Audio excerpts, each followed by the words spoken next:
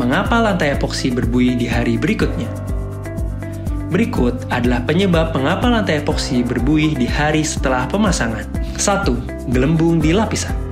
Gelembung atau kawah pada epoksi dihasilkan dari gelembung yang meletus bisa berdiameter hingga 2 cm atau sekecil kepala peniti. Gelembung atau kawah ini muncul dalam kelompok atau di seluruh lapisan.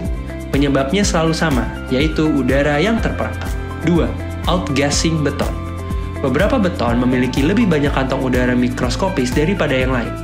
Setelah lapisan diaplikasikan dan mulai mengering, udara yang terperangkap dapat mulai memanas dan mengembang.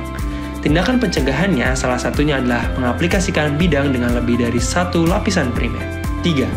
Teknik pencampuran yang salah. Mencampur komponen dengan kecepatan super tinggi dapat menyebabkan udara terperangkap dalam lapisan cair. Tindakan pencegahannya adalah gunakan kecepatan bor 100 hingga 300 rpm untuk hasil terbaik. 4 penutup roller yang tidak memadai. Kualitas alat menentukan kualitas pekerjaan.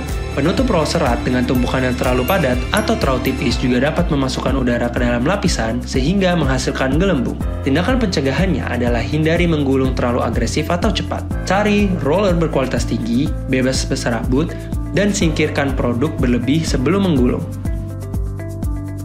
Cipta Sarana Mandiri, solusi jasa aplikasi kimia konstruksi Anda.